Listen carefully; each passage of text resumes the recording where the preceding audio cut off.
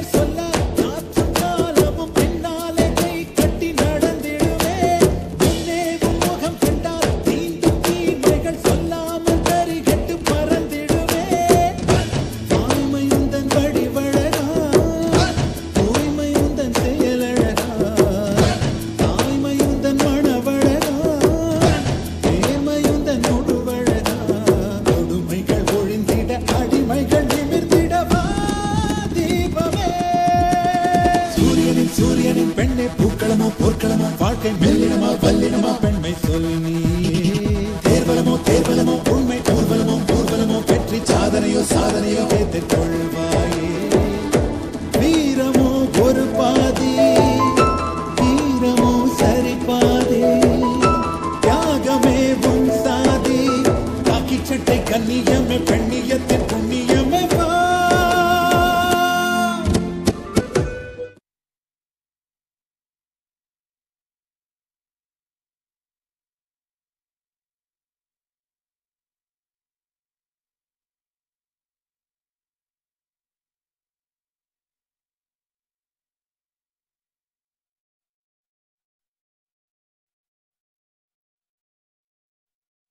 Hey, hey, hey.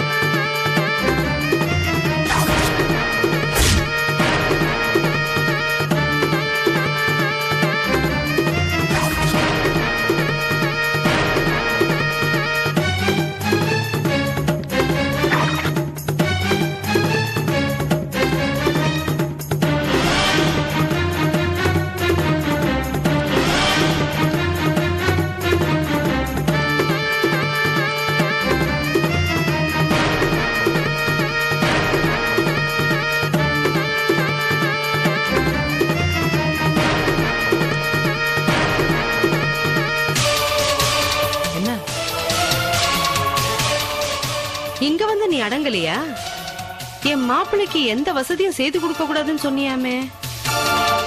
இங்க பாரு. பேச்சுக்கு தான் இத மாமியார் வீடுன்பாங்க நீ அதை நிஜம்னு நம்பிட்டு இந்த சொடக்கு போட்டு கூப்பிடுறது கத்தி பேசுறது மாப்பிள்ளைக்கு இந்த ஃபெசிலிட்டி கொடு அந்த ஃபெசிலிட்டி கொடு அப்படின்னு சொல்றதெல்லாம் கொஞ்சம் ஓவரா இல்ல? என்ன? நக்கலா?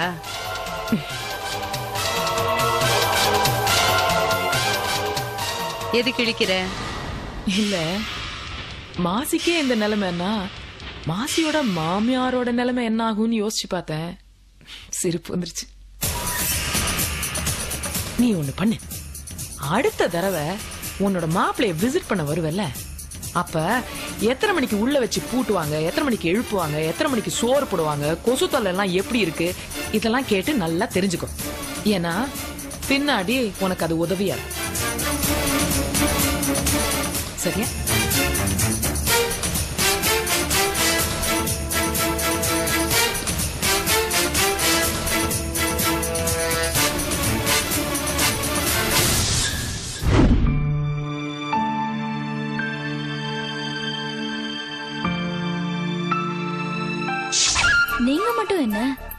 ரெண்டு நாள் என்ன பார்க்காம இருந்ததுக்கு புக்ஸ் கொடுக்கற சாக்குல என்ன வந்து பார்க்கல? நான் உன்னை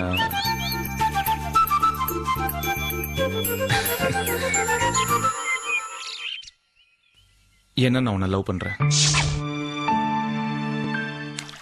எனக்கு இந்த ஊரை விட்டு போறதுக்கு மனசே வர மாட்டேங்குது. ஏன்? அதுக்கு ரெண்டு காரணம் இருக்கு. என்ன?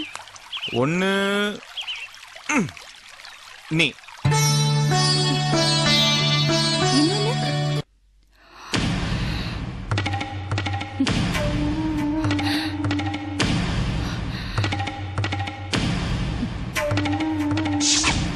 ரம்யா நீ நினைக்கிற மாதிரி பிரசன்னா நல்லவர் இல்லம்மா.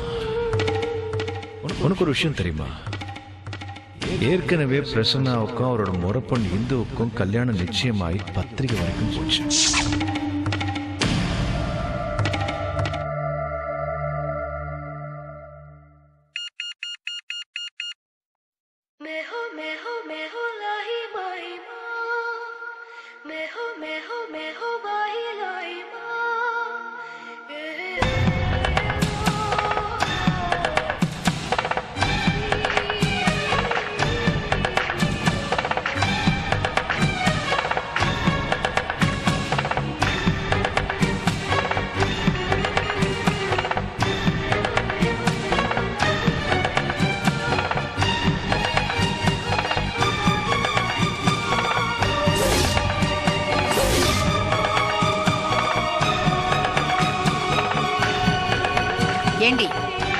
அடிக்குது எடுக்காம அப்படியே உட்காந்துட்டு இருக்க?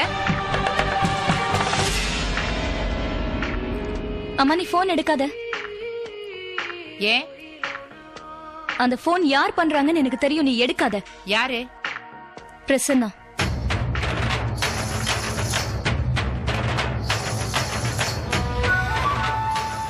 எனக்கு அவர் கூட பேசவே பிடிக்கலமா சீட் எவ்வளவு தூரம் என்ன நம்ப வச்சு ஏமாத்திருக்கான். எவ்வளவு விஷயங்களை என்கிட்ட இருந்து மறைச்சிருக்கான்.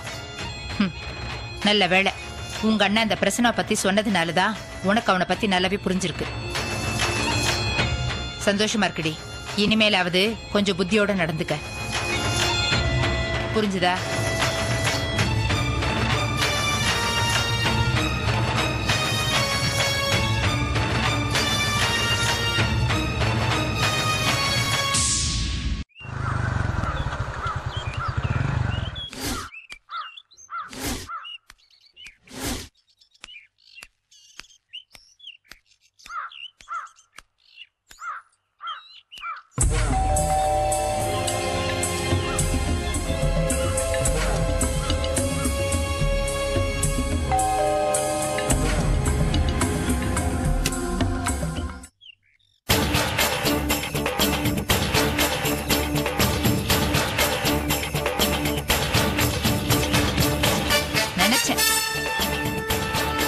வருவேன்னு மரியாதை வெளியே போயிடு.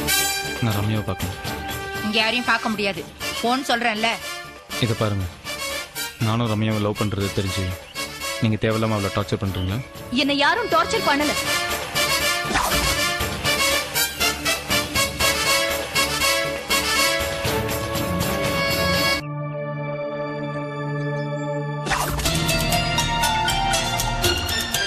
நீ எல்லாம் ஒரு மனுஷனா? இனிமே உனக்கும் எனக்கும் எந்த சம்பந்தமும் கிடையாது. தயவு செஞ்சு என்ன டிஸ்டர்ப் பண்ணாத. என்ன பேசுற ரம்யா? என் பேரை சொல்லாத. அதுக்கு கூட உனக்கு அருகதை கிடையாது. உனக்கும் அந்த போலீஸ் ஆபீசர் ரேகாக்கும் கள்ள தொடர்பு இருந்ததுல அதனால உனக்கும் உன் அத்தை பொண்ணு இந்துவுக்கும் நடக்க இருந்த கல்யாணம் நின்னு போச்சு இல்ல? உன் யோகிதை எல்லாம் எங்க அண்ணன் என்கிட்ட சொல்லிட்டாரு! என்னை ஏமாத்துறதுக்கு உனக்கு எப்படி மனசு வந்துச்சு? ஓ அப்படின்னா உங்க அண்ணன் எது சொன்னாலும் அது நீ நம்பிடுவியா? என்ன ஒரு வார்த்தை கேட்க மாட்டேன்? அப்புறம் எதுக்கு லவ் அது இதுன்னு என்னெல்லாமோ பேசுன ஆமா அன்னைக்கு உன்னை பத்தி தெரியல அதனால இப்படி பேசினேன். இன்னைக்கு உன்னை பத்தி எல்லாம் தெரிஞ்சிருச்சு இப்படி பேசுற போதுமா? இன்னும் உனக்கு தெரியல ரம்யா. உண்மை என்னன்னு தெரியணும்னா என் கூட வா. நான் புரிய வைக்கிறேன். அதுக்கப்புறம் என் கூட சேர்ந்து வாழணுமா வாழ வேணுமாங்கிறது உன் இஷ்டம். தேவையில்லை எந்த உண்மையும் நான் தெரிஞ்சுக்கணும்னு அவசியம் இல்ல வா ரம்யா அவ வரமாட்டா நீ போ வா ரம்யா அவ வரமாட்டா உன் வேலையை பார்த்துட்டு போ. நான் சொல்றது கேளு ரம்யா என் கூட வா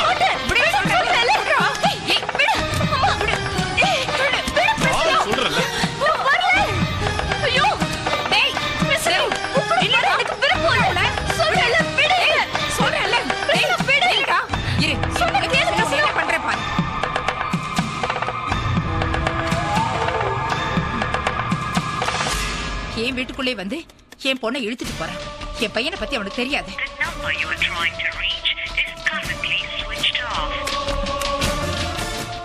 என்ன இவன் போனை ஆஃப் பண்ணி வச்சிருக்கான்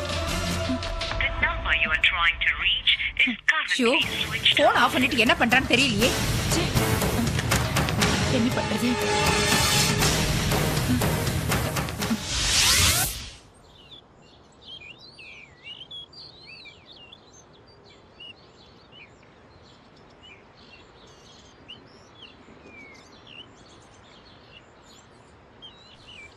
உங்க அண்ணன் ஒரு நல்ல போலீஸ் ஆஃபீஸர் கிடையாது.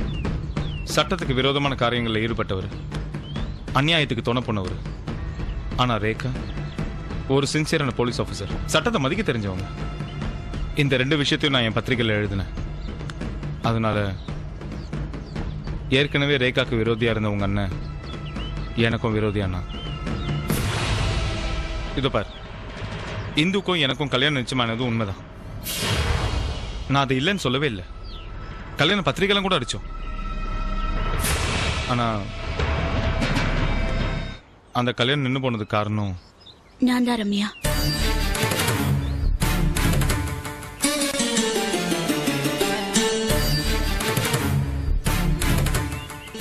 என்னோட சந்தேக புத்தி தான் காரணம். மாமாவை பத்தியும் ரேகாவை பத்தியும் உங்க அண்ணன் சொன்னதை நீ எப்படி நம்பினியோ? அதே மாதிரி நம்பிதான். என் வாழ்க்கையை நான் தொலைச்சிட்டேன்.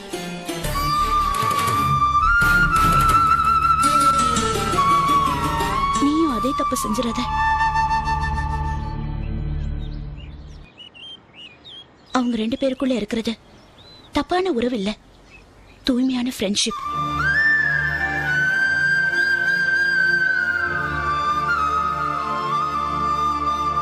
சத்தியமா சொல்றேம்மா. என் மாமா மாதிரி ஒரு நல்ல மனுஷன் உனக்கு புருஷனா கிடைக்கிறதுக்கு நீ கொடுத்து வச்சிருக்கணும்.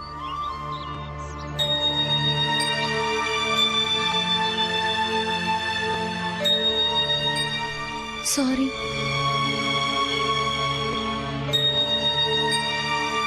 சாரிலாம் தேவையில்ல.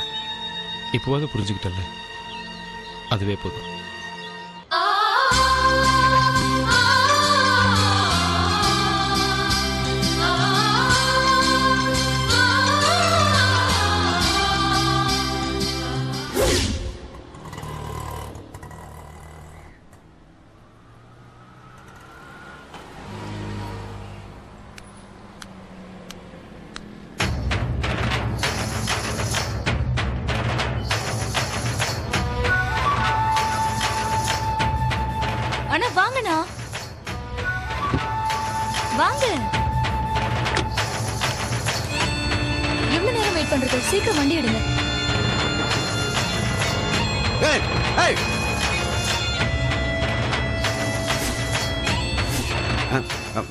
மனோ என்ன பர்ச்சேஸ் பண்றியா இல்ல கடையை விலைக்கு வாங்குறியா?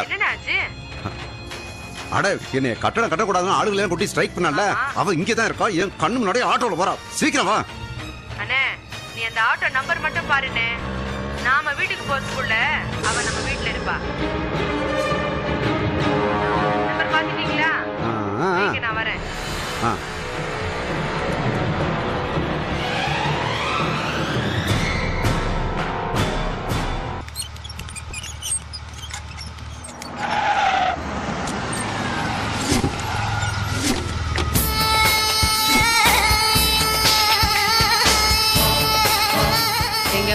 அவ அவ்வளவுதான்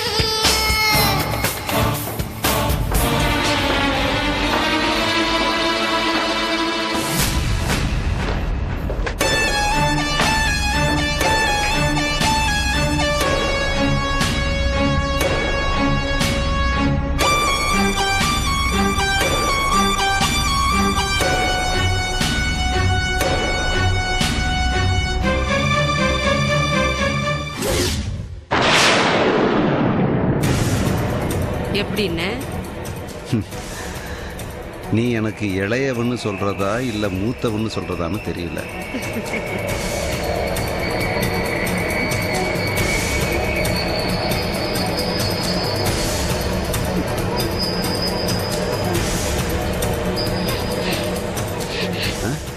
ரம்யா குட்டி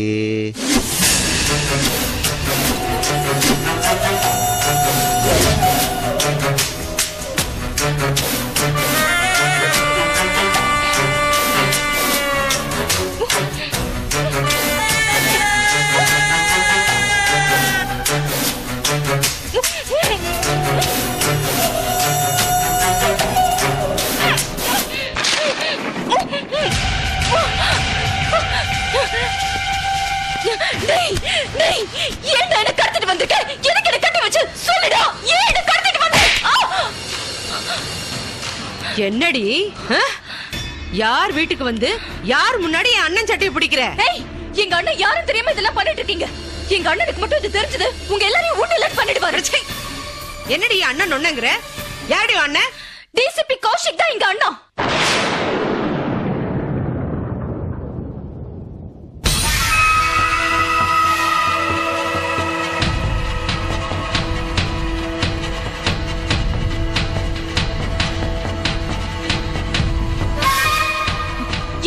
புரியுதா நீ யார் மேல கை வச்சிருக்கேன்னு?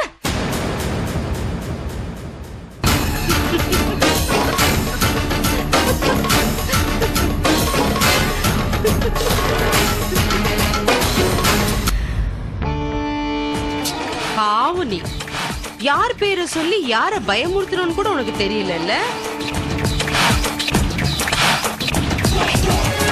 ஏய் கட்டி போடுறா. அத்த அத்த அத்த அத்த அத்த ரம்யா. என்னது? எதுக்கு ரம்யா பிடிச்சி வச்சு சித்திரவதை பண்றீங்க? அத்த நான் அவளை கல்யாணம் பண்ணிக்கணும்னு ஆசைப்படுறேன் அத்த. ப்ளீஸ் அத்த அவளை அனுப்புங்க அத்த. சரிடா சரி சரி சரி. நானே உனக்கு அவளை கட்டி வைக்கிறேன் வா. அத்த அவளை போக விடுங்க வா. வா சொல்றேன் வா. வாடா. போடா போ. ஓ. போ. Sudha. Okay madam okay madam okay madam okay madam okay